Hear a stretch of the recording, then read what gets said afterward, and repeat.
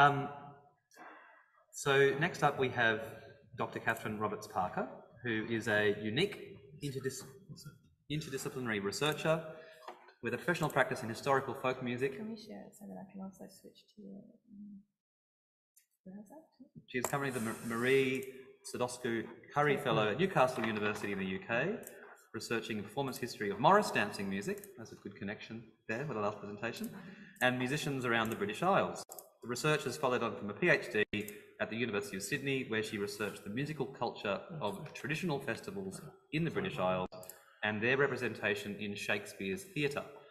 Kathryn is a musician and theatre practitioner with experience composing and performing live music with Matriarch Theatre.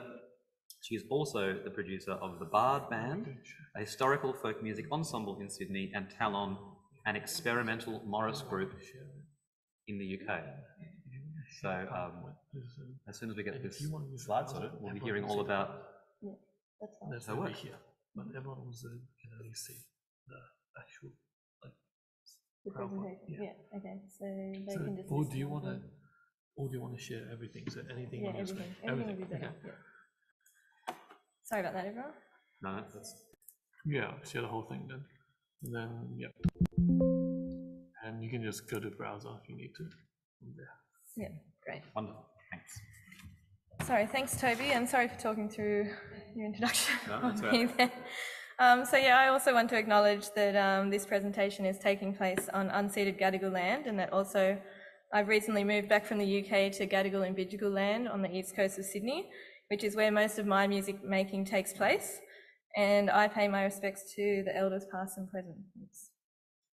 So today I'm going to share a bit about some folk artists that I've met and who I've been collaborating with during my fellowship in the UK. So just as a background, um, Newcastle University, where I have been working, um, is the only place in England, as opposed to Ireland and elsewhere, um, where you can do a Bachelor of Music in Folk Performance. Um, so they have some great folk practitioners working there. And so I've been um, focused partly on connecting with that community of practice alongside my research. And today I'm going to share about some people who are sort of big up and coming influences in what I'm terming a new wave folk movement. And you can see from this lovely picture of Sam Lee here um, what part of this movement is about. He says, All the songs I sing are about relationships to the land. They're expressions of a time where we as people were as in tune with the natural world as any owl, fox, or badger. So you can see from Sam's words here that the New Wave folk movement does retain some of that nostalgia that characterised the folk revival movements of the early 20th century and the post war folk revival movement. But they've let go of um, some of the notions of the early folk revivals, as Michael Brocken and Derek Scott and Stan Hawkins describe in their book on the subject, that these traditions um, must be preserved at all costs, or that folk music is a universal language, easily understood. Instead, these people, they are focused on taking their audiences with them and reconnecting with their land, um, which is the British Isles, through music, song, dance, and ritual, which is an important adage at the end there. So, what is the folk, the New Wave folk movement? It's basically made up of practitioners who focus on decolonising their collections of traditional tunes and songs from the British Isles from within. So, you know, peeling back the narratives of um, wealthier classes and educated classes about their music and developing this deep connection to place with their audience. And here um, on the side is a picture of Boss Morris, who operate in Stroud, UK. And you can see they look quite different to those Morris costumes that um, we saw in the previous presentation. Um, I'm going to spend a bit more time on them soon. But um, first, I just want to provide um, a profile of three significant people. Um, the first is um, Sam Lee. Some of you may have heard of him. He's been operating for a while, but he's a performer of traditional ballads and he's a self-described song collector. Um, he has a lot of albums, most recently Old Wow and a couple of award-winning albums, The Fade in Time and A Ground of Its Own. He's also the creator of Singing with Nightingales, which is a site-specific performance work which he takes um, small audiences into the forest of Sussex, UK, and we'll get to hear a little bit of that soon. And then on top of that, he's also a BBC radio host. So he has that connection to kind of mainstream programming as well. And he um, also would call himself a folk activist. So you can see here there's a picture of him jumping the fence at a, um, a lord's estate, essentially. Um, he's part of what's called the Right to Roam movement. So he um, joins protesters going onto wealthy estates. They sing their songs, they make music, they do all kinds of things there as part of this protest against um, what they say is inaccessible land, like compared to Scotland. Um, England has very small amounts of accessible land to the public, and most of it is owned by the wealthiest people in their country. So he's a big part of that movement as well. So during COVID, um, he's been partnering with um, English Heritage, um, which is one of the uh, national kind of uh, it's like the National Trust, if you've heard of that. So English Heritage is another one of those who kind of operate a lot of historical sites around England. And he's been performing his songs um, on these sites. So here's one at Stonehenge. And um, I'm just going to play a little snippet of it, just so you can hear one of these. Um, some of them are quite old ballads that he sings from the 17th century, 18th century. Um, and he sings them on site like this in, in quite a number of videos if you were to go have a look on his YouTube. So here's just a small part of this one.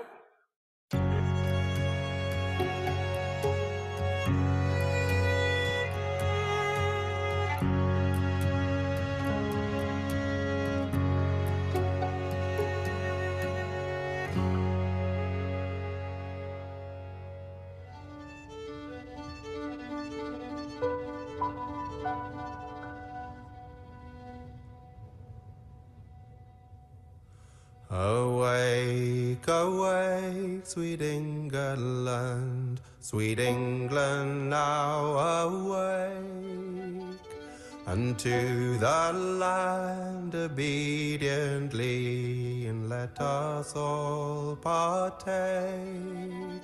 For our future now is calling, all in the sky so clear. So resound, resound, sweet England, for our history's always near. Let us sing. Um, it's beautiful and um, taking place on Stonehenge here, the, the New Wave folk movement um, Stonehenge has become an important site for that. So we have um, lots of people gathering, say, on the summer solstice, the winter solstice at these sites. And a place like Stonehenge is important for these folk artists because it's, you know, it's a symbol of like a pre-industrial um, culture of England that has largely been lost. Like we don't know a lot about the Neolithic people.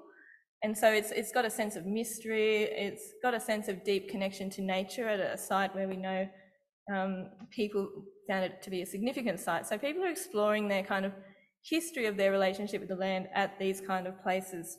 So another um, project that I mentioned that Sam has been doing um, is called Singing with Nightingales, and he took inspiration from this um, this uh, cellist Beatrice Harrison, who also um, would go into the forest and play with the nightingales. So he's done a BBC radio episode on it, and you can just hear a little bit here. He used to sing in thirds with me, and it was such a joy. He used to twiddle about with the. Well, he was always in tune with the cello, you know. And it struck me how lovely it would be if he could be broadcast. It took some persuading, but Beatrice Harrison's wish was fulfilled when she played in her Surrey garden. A nightingale sang, and their duet, in one of the BBC's first outside broadcasts, was heard all over the land. That was exactly 90 years ago on the 19th of May, 1924. Through this episode here, you get to hear this cellist play. And then Sam's own um, performance, which is also called Singing with Nightingales. Um, he has this, it, it's actually a very small performance of a small audience of under 10 people, so it sells out every year, and he runs it through um, the spring and the summer. And um, during COVID, again, they did one broadcast at home, so just to hear a little um, snippet of what he's been doing with this, I'm going to just skip forward to, he has a bit of cello here. Oops, sorry.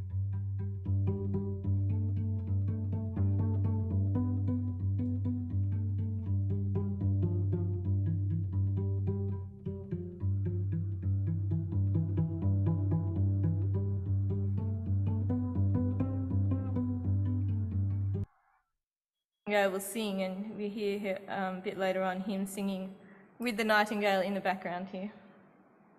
them small birds to hear. I'll have you pay attention. I'll listen, draw near. That when you've grown old, have this to say that we never heard so sweet, that we never heard so sweet.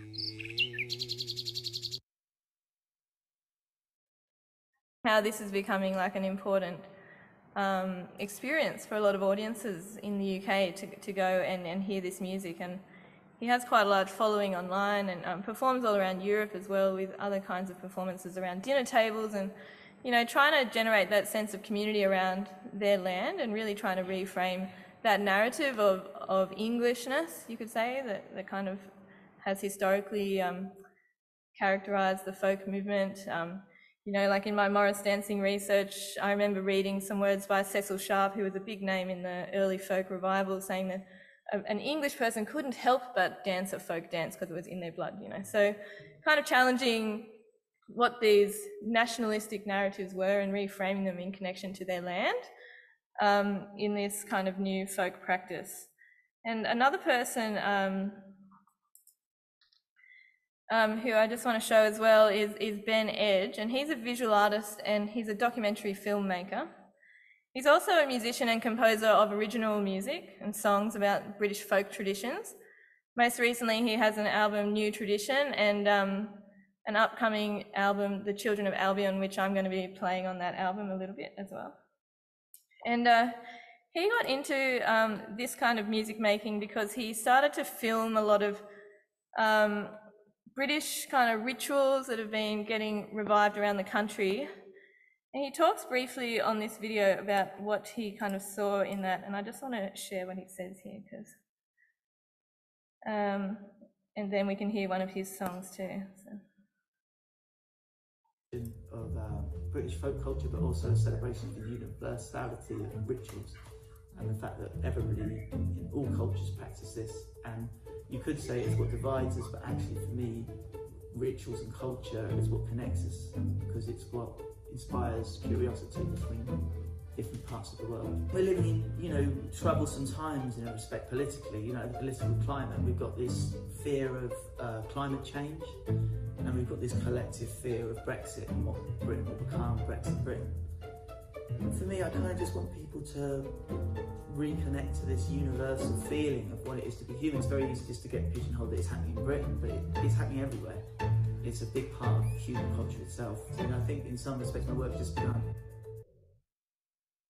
the ethos behind what um, he, he uh, what's behind his music and his filmmaking. And here in this next video, um, it's one of his songs, and it's about a specific ritual that takes place in Scotland, in um, North North Queensferry, South Queensferry, South Queensferry, um, near the big bridge there over to the north of Scotland.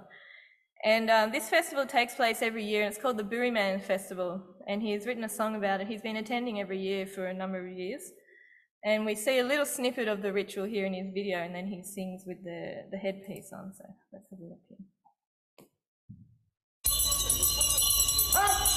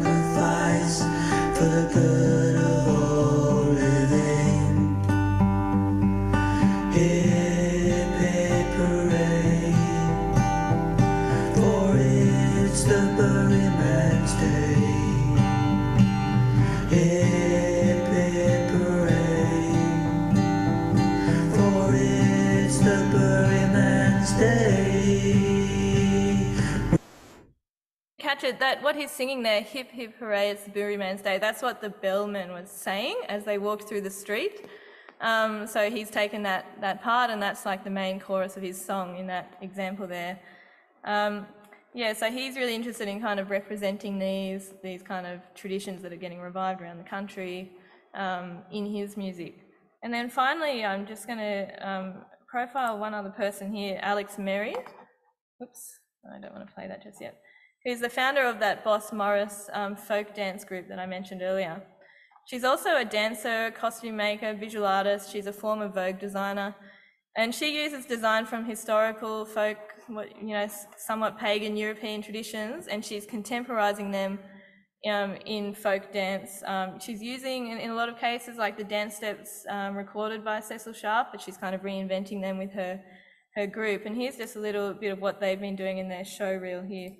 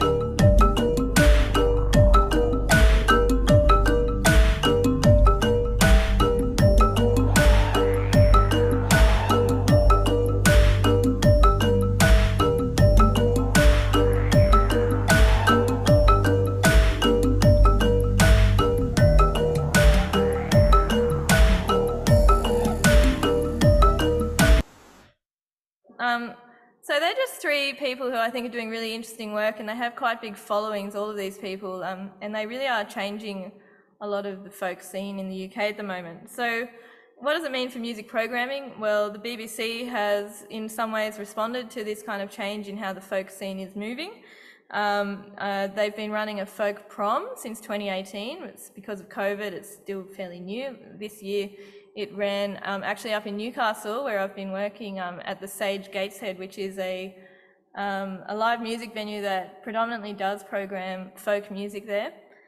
And if we just have a look at what their program actually was here, um, that's a picture of Sage Gateshead with the Northern Lights, which sometimes you can see in Newcastle. I didn't see them, but um, here's what the program was. Let's have a look this year. And um, we got John Adams, Judith Weir. We've got Spell Songs, which is a folk collection by um, some prominent kind of uh, folk artists like Jude, um, Julie Fowlis, who's a Scottish Gaelic singer, and and some others. Um, and then it finished with Dvorak's uh, New World Symphony. Um, yeah, exactly. We've got some people laughing in the audience here because we ended up having this. Um, the BBC wanted to connect with the university um, and, and get some people on a panel, and because there's so many folk artists working at the university, we ended up in this uh, Zoom conversation with a BBC producer where you know um, some of my colleagues really wanted to bring out like the cosmopolitan sort of project of spell songs in the panel.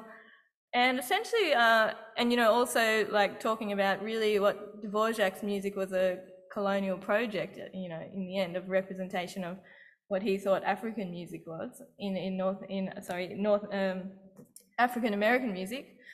Um, so yeah, like they weren't really interested in grappling with those things. So, in fact, what they ended up responding was, "Oh, we just want someone with a northern accent to be on the panel because we're not in London." so, you know, so the BBC's focus on just getting out of London. Oh, we're not really ready to come to terms with our colonial sort of history yet as a programmer, or, or we're trying to, but this is a bit too much for right now for a 20 minute panel. You know, that was kind of the feeling amongst me and my colleagues at the end of the meeting of like what it was that they actually wanted for this panel. So it's just an interesting example of of how um, you know how like the main what we could call the, the big national programmers and main stage um, you know performance ensembles etc um, are going to grapple with these issues and whether they can engage with them like what the kind of grassroots scene is doing.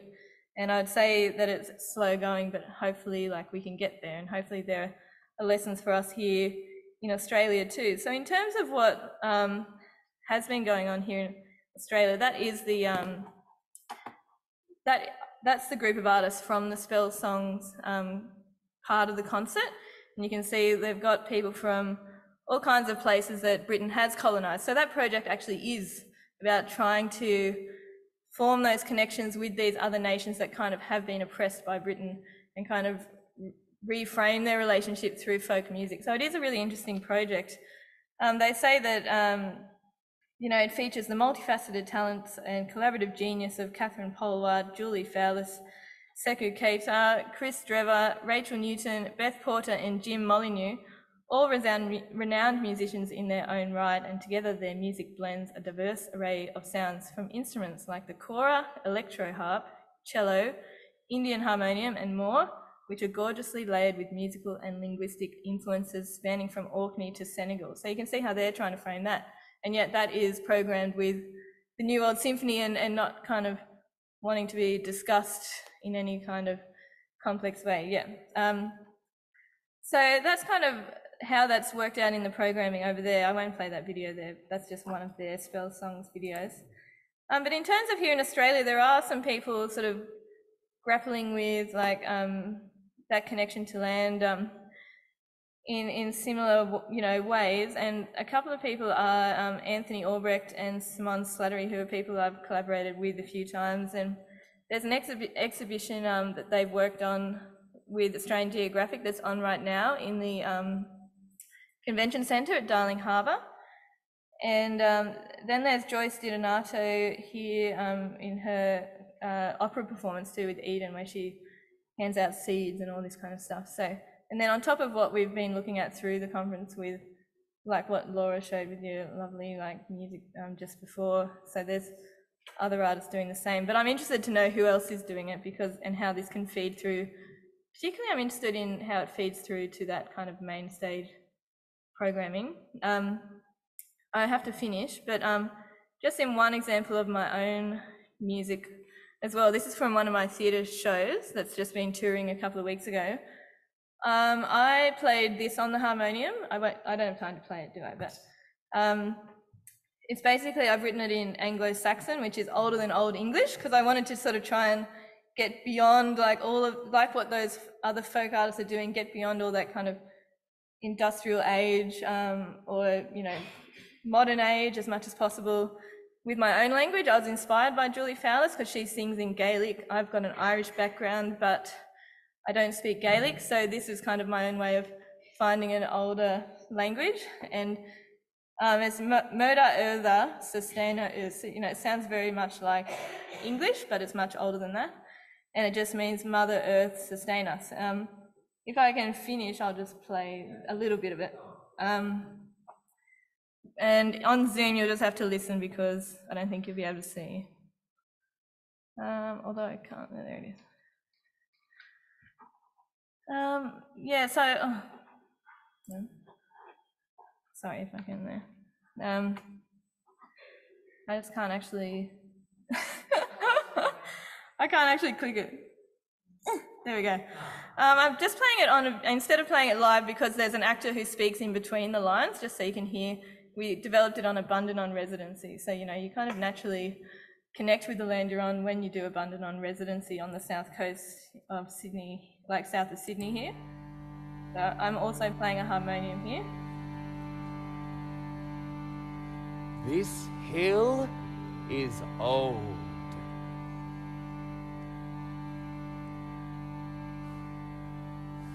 It existed long before words. It even existed before the stars. The spirit of this hill sat alone in a universe of darkness. Craving light, the spirit opened its mouth to sing the first song. The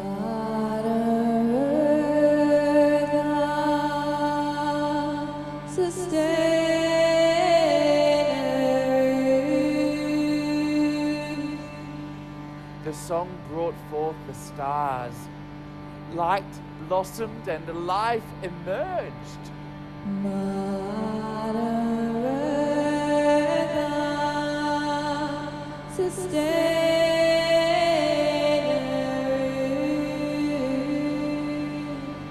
Then came forth the children. Formed of song and craving it deeply, they were drawn to the hill to be closer to the source of all music. But they became greedy.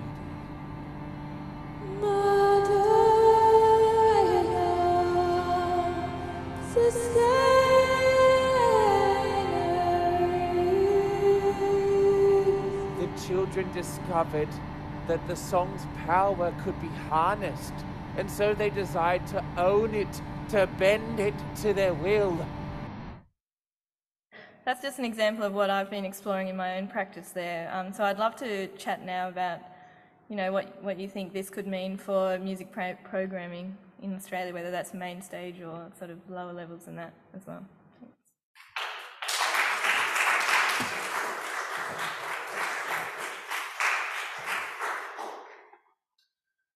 Thank you so much, Kathryn. Um, and for someone who lived in the Northern England around the same time as you and was very interested in the new folk revival, revival was yeah, it was, that was a fascinating presentation.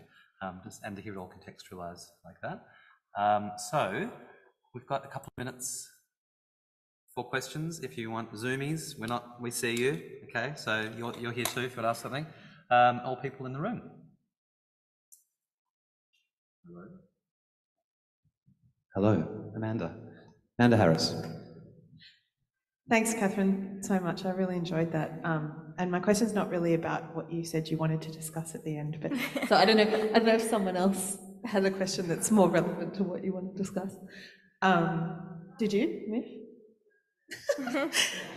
um, so sorry about that. But um, I was just really interested in. I mean, th- this kind of new movement that you're describing is often, off, obviously, an effort to reach back to kind of pre-imperial. Hmm. Um, English practices and and the second performer you're pro profiling is at Ben Edge. oh, Yeah, yeah. Um, referred to Brexit and the kind of shifting. Yeah. You know, I, I assume he's sort of thinking about increasing xenophobia or whatever. And I was just wondering how you position um, this movement in comparison to other kinds of folk movements in England in that sense. You know, the sort of relationship with post-imperial Britain or Yeah, you know yeah. a, a sort of immigrant Britain that's the direct result of all of that um, activity of empire over several centuries. Yeah, I mean, my feeling is that they're much more conscious of it and open about it than, say, like the folk players who I've been working with at, at Newcastle, who is that slight generation before us, you know, who are aware of it and conscious of it, but it doesn't really come out in their concert uh, format. Whereas these people do just talk about it, and they do invite people of all kind of nations, you know, to experience what they're doing. Um, and they like what Ben said in that video in his full documentary, like he addresses that as well. And um, I think these people really want to make overt that Britain, well, particularly now, is not their own. Like that people from Senegal have every right to be in Britain because they were colonized, you know. People from, um, you know, First Nations people from here have every right to go to England, you know, and because they were oppressed by, you know, so they're trying to, I think, form those um, those kind of dual um, two-way conversations, you know, to to kind of grapple with their own history and kind of disentangle the narratives that have kind of been written by the victors to, to a lot of extent and not written by, in other parts of Ben's documentary, he talks about how these rituals are essentially working class and, and um, are being led by working class people. They're not being led by the most wealthy people in their current society, and that's important to him as well. So I think um, in that respect, they really are wanting to invite kind of your everyday person to experience this stuff because it's not, in their minds, not as loaded with imperialism, imperialism as some of the other stuff might be from other folk performance, you know? Yeah. I'm going to go to Myth. Yeah, did you want to ask a question? Yes, you did. It was pretty much the same question as Amanda, except perhaps hearing um, your response there um, of where the musicians are at and how they're sort of trying to, um, uh, I guess you'd say, you know, protect or not, you know, make a difference. Um, audiences, nevertheless, is there any um, sign, I suppose, that um, some people might be attracted to that element? One, you know, the sort of xenophobic um, audience, um, and, and choose to be selective in their listening of what Mm. musicians. Um, in terms of like xenophobia in the audience, is that Yeah, what you were yeah, asking? Yeah. the, the people that might, um, um, yeah, yeah, people searching right, for some sort of um, nationalism like Yeah. seek to hear some things but not others. Yeah, well, I think um, there inevitably would be that. Um, however, I think these artists are trying as much as possible to take their audience on a journey with them. And so a lot of their music is overtly about these issues in a lot of ways. Like Sam Lee would choose ballads that are historical ballads that deal with similar issues to what he thinks to be important now in England, um, for example. And um, like Boss Morris as a, like a contemporary Morris group, you know, they are challenging that kind of old white man Morris dancing kind of culture that's been around for quite a while now in England. Um, and you can see it's having an effect because, you know, the Daily Telegraph recent, uh, yeah, the Daily Telegraph it was, recently wrote an article about how, oh, Morris groups are under pressure to drop the 400 year old tradition of blackface, which, by the way, it's not a 400 year old tradition of blackface in Morris dancing. So, you know, there is clearly like um, bringing up these issues like in the mainstream press and all kinds of places. So, yeah, it is making a difference for their audience in that way because otherwise, why would these presses be mentioning it specifically? I think, yeah. So it's an interesting, they are very much trying to take their audience with them on this. Yeah. Hi. Um, yeah, thank you. That was very beautiful. Uh, I, I'm interested in the connection um, with the environmental movement. Uh, you talked about how a lot of the songs are a beautiful um, performance in the forest. And then in terms of what you think the power of programming is, either in, in um, England or here, to influence and, and what the connections are um, to be a bit more political with the environmental movement. Yeah, well, um, I think, you know, my friend Anthony, who I mentioned, is, is operating here. Um, he's doing his PhD on exactly that, like how to communicate environmental issues in Australia in music concerts. Um, so that's kind of his area that he's just started a PhD on that. So I pro- he probably could already answer that much better than me.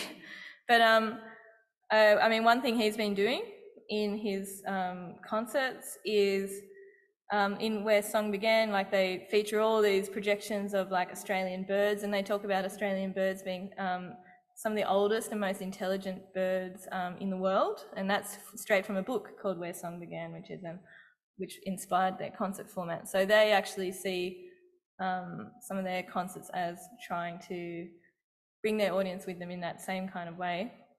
And I know in this Our Country exhibition that they've worked on with Australian Geographic, they've worked with an Indigenous singer who's been trying to. Gambira. Pardon? Gambira. Yeah, yeah. yeah. So I, I know that um, that was really significant. The work they did there with um, how she like could demonstrate that connection to the land in that singing and with that footage, because the exhibit is a lot of film, um, like it's many, many hours of Australian Geographic archival footage, and they've got this beautiful Indigenous singing um, through a lot of the exhibition. It's a 45 minute reel that runs. Um, so that's just an example, I, th- I think, of a pretty interesting approach, but I'd, I'd love to hear if you know of any others. And we've obviously heard yesterday the round table of some really interesting um, approaches to that as well. So, yeah, I'd love to know if you know more. Um, anyone else?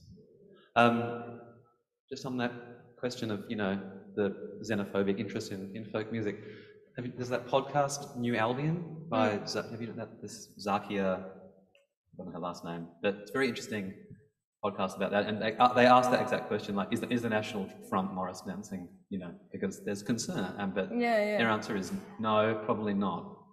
Yeah, but, yeah, that's know, right, yeah. But yeah, it's certainly a, it's a live it's a live issue. Um, I've had one really very quick question, Kathryn. Um, so you know, the artists we saw, and I know this in England, they talk a lot about about relationship with land. You know, and obviously in Australia, you know, it's uh, it's different. Yes, And yeah. I'd say more problematic in a way. So for Yeah. non-indigenous folk artists, Yeah, it's a very different relationship to land. Yes. Um, so I was just wondering if, you, if, if there's examples of Australian folk artists who are, I guess, not indigenous, but are thinking critically about their relation, their their relation as a sort of, you know, as newcomers and how, that, how that might work.